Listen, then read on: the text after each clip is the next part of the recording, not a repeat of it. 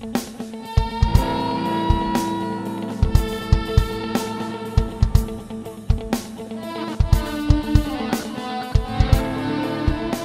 Hoy en nuestro tiempo de entrevista vamos a hacer un repaso por cerca de nueve años que ha estado con nosotros en Guadalajara el coronel Pascual Luis Segura y lo hacemos con el mismo, que está en persona aquí con nosotros. Gracias por acompañarnos, Muy coronel. buenos días, un placer estar con vosotros. Nos estamos acostumbrando a llamarle coronel todavía. Todos, todos. Yo también me estoy acostumbrando porque a veces ni respondo. Ocho años y medio, casi nueve años aquí en Guadalajara al frente de la comandancia. ¿Te vas satisfecho del trabajo realizado? Sí, me voy muy contento con el trabajo realizado y muy orgulloso de la gente que he tenido bajo mis órdenes, que ha sido ejemplar y que ha trabajado muy bien. Estoy bastante contento, sí, señor. ¿Te ha encontrado dificultades a lo largo de estos nueve años o sorpresas? Por supuesto, en todo, y más en nuestro trabajo hay muchísimas dificultades y muchas sorpresas y sobre todo cosas que impactan, cosas que impactan que a veces no, no crees que puedan ocurrir y ocurren. Al final hemos solventado todos esos pequeños problemas, los hemos solventado bastante bien. A lo largo de estos nueve años han sido muchas las eh, buenas noticias que se han dado, operaciones, casos complicados que han pasado por sus manos, por la comandancia. ¿Qué caso le ha dejado huella? Por supuesto, el caso que más huella me ha podido dejar ha sido el caso Pioz. El caso Pioz, eh, ver lo que, había, hecho esta persona y ver lo que pasó en esta casa, pues impacta. Nunca, estás, nunca te acostumbras a estas cosas, nunca. Mira que he visto a lo largo de mi carrera, ya un capitán de policía judicial en Alicante, cosas terribles, eh, nunca te acostumbras. Complicado lidiar con, con toda la parafernalia que se lió al margen del caso, de la complejidad, también nuestro papel a veces incómodo en las eh, investigaciones que realizan ustedes, el de los medios de comunicación. La verdad que fue un momento distinto. O sea, lo que es, lo que es la investigación funcionó muy bien, con la colaboración con la UCO fue espectacular. Eh, sacamos perfectamente lo que dije en su día en la rueda de prensa, que a los tres días ya sabíamos quién era el autor, sabíamos que estaba en Brasil en ese momento, pero que funcionó muy bien y, y se cuadró todas las cosas perfectamente. Luego ponerse delante de las cámaras con toda España delante, eso es un momento muy complicado para las personas que nos hemos acostumbrado a estas Esa es la cosas. parte que menos le gusta a usted. No, no me gusta nada, o sea, no, no estoy acostumbrado a ello, o sea, no me han preparado para ello, entonces, claro, uno se siente extraño porque es- no domina el, el- el ámbito.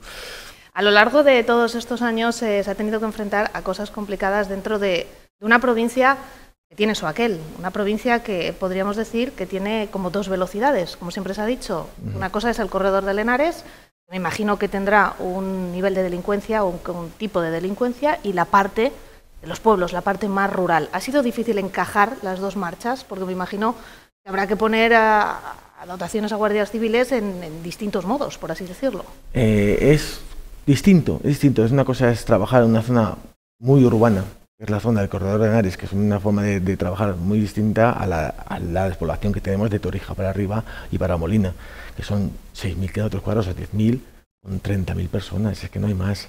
Es es una pena, esto es lo que tenemos. Eh, sí, muy distinto, porque las distancias son distintas, la sensación es distinta, la, se- la seguridad subjetiva de las personas no tiene nada que ver. Lo repito mil veces, una, roban en Maranchón y se enteran en Checa. Ah, Aquí roban en Guadalajara y no se entera nadie. Entonces es una seguridad muy distinta, pero sí, pues se funciona bien y nosotros nos adaptamos perfectamente a trabajar en diferentes ámbitos y, por supuesto, como has dicho, eh, la zona del corredor es la que tiene pues, el 90-80% de la delincuencia de la provincia, lógicamente. ¿Dónde se sienten más cómodos trabajando? En todas partes.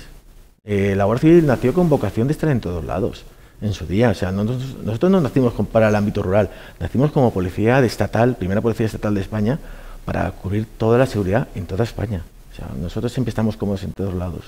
¿Se necesitan más efectivos en la provincia de Guadalajara? Se necesita cubrir el catálogo completo, que es lo complicado. O sea, esta es una provincia donde la gente rara vez se asienta. Es difícil que gente que venga de fuera se, se estabilice y se quede para siempre en, ese- en esta zona. Y más en la zona deshabitada donde, claro, no tienen los servicios, son gente joven y no tienen los servicios a los cuales están acostumbrados estas personas que vienen de otro ámbito. Entonces eh, es complicado. Cambiamos muchas personas eh, anualmente. En la parte de, más despoblada siempre se pide por parte de los vecinos, eh, se les tiene un gran cariño a la Guardia Civil por una parte, pero por el otro siempre se piden pues, más cuarteles y, más efectivos. Yo no sé si por algo relacionado con esa sensación de seguridad, más allá de porque hay una presencia real física. Eh, sí, el que todos los pueblos quieren tener un cuartel, eso es así, ha sido así siempre. Todo ese- aunque esté cerrado, es su cuartel. Pero les da seguridad. Pero les da esa seguridad les dan un, edificio, aunque no haya nadie. Eso nos ocurre muchas veces, pero no, eh, más cuarteles va a ser imposible que construyamos porque no estamos en la época de, ello. Y lo que tenemos es intentar cubrir el catálogo lo máximo posible para poder darle seguridad. Ten, en cuenta que están las poblaciones y un montón de objetivos estratégicos que tenemos en esta provincia, porque no olvidemos que tenemos una central nuclear y una serie de sistemas que tenemos que cubrir 24 horas. ¿La pandemia ha sido especialmente dura en este año para la Guardia Civil? Ha sido muy complicada. Eh, desde el primer momento del primer Real Decreto de Alarma fue complicada organizar todo. Pero, de, repito, de primer momento todos los guardias dieron un paso al frente y pasamos de 1.500 patrullas a 3.000. no hubo nadie, en, no hubo nadie en, planas mayores, todos estuvimos en la calle desde el primer momento para poder cubrir con la máxima eficacia lo que se nos estaba demandando por parte del Gobierno. Hicieron todo lo que estuvo en su mano y en muchas ocasiones, sobre todo en el ámbito más rural, hicieron de acompañantes, hicieron de psicólogos, hicieron de, amigos de, los vecinos más mayores en una provincia tan en la que hay gente tan mayor como es en la nuestra. Hicimos lo que hacemos siempre, es que la gente crea muchas veces que estamos solamente para sancionar o para perseguir delitos.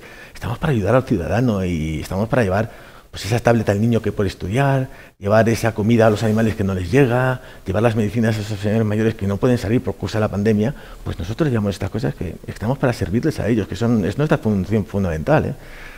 Con lo cual sí, se, ha hecho pues, fantásticamente y repartir mascarillas a los ayuntamientos y todo lo que se nos demandaba lo cumplimos. Se llevaron, imagino que a lo largo de todos estos servicios que tienen que ver con la pandemia, imágenes duras y habría compañeros, habría guardias civiles que se llevaron sorpresas y se llevaron momentos complicados los que pasar. A pesar de que sean guardias civiles y los veamos como diferentes al, resto de los mortales, por así decirlo, a las fuerzas y cuerpos de seguridad del Estado, pero para esto ustedes tampoco estaban preparados. No estábamos preparados para esto porque además muchos de mis guardias no son de Guadalajara y estuvieron durante cuatro meses sin poder ver a sus familias. Lo cual, pero como todo el mundo, o sea, y en, en, en un momento en estos momentos tan complicados hubo una queja por parte de ningún guardia de que, oiga, yo quiero, no, no, no, esta es mi obligación y aquí estamos. momentos complicados sí, sí los hubo y la gente se comportó muy bien. ¿eh? O sea, la provincia, yo tengo, salvo raras excepciones como en todas partes, el 99% se portó fantásticamente. ¿Fue difícil hacer cumplir las normas? Hacer meternos en la cabeza a los ciudadanos había cosas que no había que hacer porque estábamos en un momento excepcional. Fue complicado comprenderlas. Porque había tan variedad de normas continuamente que a veces la gente estaba un poco, no sabía dónde colocarse. Pero nuestra labor, fundamentalmente en los controles, era más labor pedagógica. Si uno reincidente, pues oye, no, lo que hay. Pero eh, nosotros intentamos enseñar a la gente lo que podía y lo que, lo que no podía hacer en todo momento, más que sancionar. A lo largo de ese tiempo, en la pandemia en, concreto, pero no solamente en ese momento, ¿han recibido ustedes el, cariño de la gente? Porque recuerdo aplausos en la pandemia, evidentemente, a las puertas de la comandancia, esas imágenes nos llegaron a todos, de, otros compañeros y también de ciudadanos en general. Y también recuerdo, si no me falla la memoria, la manera en la que despidieron a los guardias civiles destinados a, a Cataluña en un momento tan complicado como fue el 1 de octubre, también la ciudad salió a la calle para mostrarles su apoyo. No sé si se sienten queridos por la ciudad de Guadalajara, estando la comandancia justo en el centro de la ciudad. Nos sentimos muy queridos por la ciudad de Guadalajara y por toda la provincia. O sea, todo el mundo nos quiere. Nos quiere porque todo el mundo quiere seguridad y sabe que donde estamos vamos a dar el mejor servicio y, lo mejor de nosotros hacia ellos, con lo cual mm, no podemos tener queja. Lo que has comentado de la pandemia, pues nos ofrecemos con todo lo que pudimos el tema de Cataluña, pues nos pidieron un, refuerzo por, por, nuestra parte y se mandó. En ese aspecto estamos para lo que nos ordenen y para cumplir nuestro trabajo siempre. Usted se nos va después de ocho años y medio, casi nueve años de trabajo aquí en la comandancia. ¿Dónde se nos va? Pues eh, el secretario de Estado ha tenido a bien destinarme como jefe de comandancia de la provincia de Vizcaya, lo cual es donde Empecé mi carrera profesional en el año 90. Vuelvo a sus orígenes. Sí, sí, sí. Como jefe de línea de Guernica durante dos años y vuelvo allí otra vez. O sea, encantado. Es una cosa que he pedido voluntariamente y, estoy encantado de poder estar allí otra vez. ¿Se va a un sitio donde más o menos va a hacer lo mismo que aquí, aunque sea con. Bueno, se va con un ascenso de coronel, ¿no? O se va como teniente coronel. Es muy diferente. ¿Diferente? sí, porque allí está la archancha. Entonces allí no tenemos ciudad ciudadana. Hay muchas cosas que nosotros no tenemos ese contacto con la población como podemos tenerlos aquí en Guadalajara, que estamos en contacto con todo el mundo.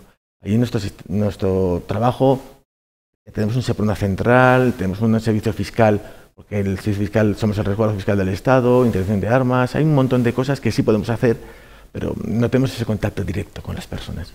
Necesitan su policía autonómica. Le sustituye en el cargo la teniente coronel Cristina Moreno, que entra aquí a la comandancia de Guadalajara. Sí. Me imagino que hayan tenido oportunidad de hablar. Yo no sé qué consejo le ha podido dar. Yo no, no, no, no, yo no le voy a dar ningún consejo. Ella ya sabe perfectamente, conoce esta provincia, ya, ya lleva muchos años en la Guardia Civil y sabrá hacerlo perfectamente. Hablo con ella todos los días ahora mismo. ¿eh? Tienen una buena relación. Sí, fantástica, fantástica. Lo último que le vamos a pedir, yo no sé si quiere enviar algún mensaje a los vecinos de Guadalajara que a lo largo de todo este tiempo, que han sido muchos años, han estado ahí. Solo puedo hacer un mensaje de, gratitud, por el cariño hacia mi persona, por cómo nos han tratado y sobre todo cómo tratan a la Guardia Civil porque la quieren. Y que, queremos seguir siendo siempre eficaces y servirles lo mejor posible. Es nuestra principal misión, yo lo repito muchas veces, servimos al ciudadano y solamente tengo que darle las gracias a todos, instituciones públicas, privadas y a toda la población en general, que muchas gracias por todo. Pues muchísimas gracias a usted, coronel Pascual Luis Segura, por estar aquí, por esta, este, este, tipo de entrevistas que no nos gusta hacer, no nos gusta despedir a nadie, pero bueno, muchísimas gracias por estos casi nueve años aquí en Guadalajara. Gracias también por el trato que ha tenido con los medios de comunicación, a los que siempre, por lo menos hasta casa, nos han cogido el teléfono y han estado dándonos la información que se puede dar tenemos esa lucha entre, entre las dos partes, a veces se puede y a veces no se puede, pero es de lo que va el juego.